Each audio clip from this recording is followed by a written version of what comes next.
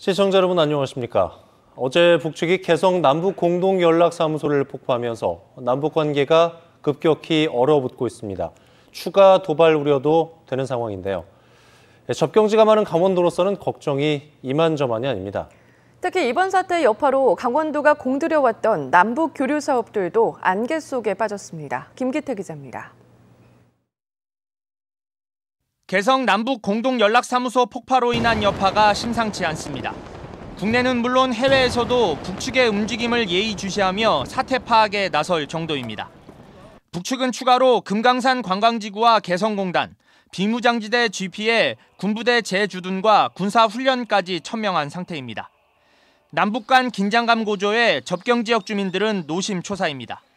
신락 같은 희망 속에 남북 관계 개선을 통한 금강산 관광 재개를 기대했던 고성 지역 주민들의 상실감과 불안감은 이루 말할 수 없습니다.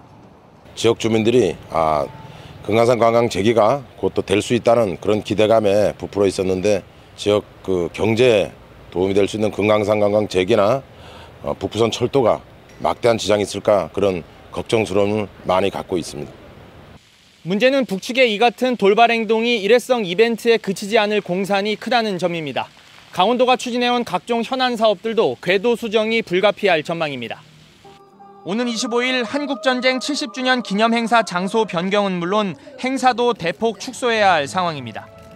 국방부는 이미 철원 평화문화의 광장과 화살머리 고지 등 민통선 내에서의 행사 진행을 불허한다고 통보했습니다. 강원도 차원의 종전선언 퍼포먼스도 최근 상황과 맞지 않아 최소화될 것으로 보입니다.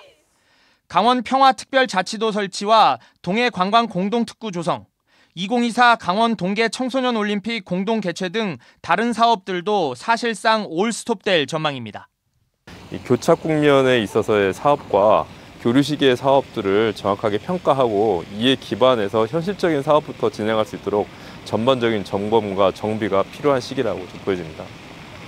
강원도는 일단 사태 추이를 지켜본다는 입장이지만 북측이 청와대 특사 파견조차 거부한 상황이어서 그동안 어렵게 추진해왔던 대북 교류 사업에 적잖은 차질이 우려됩니다. 지원 뉴스 김기태입니다.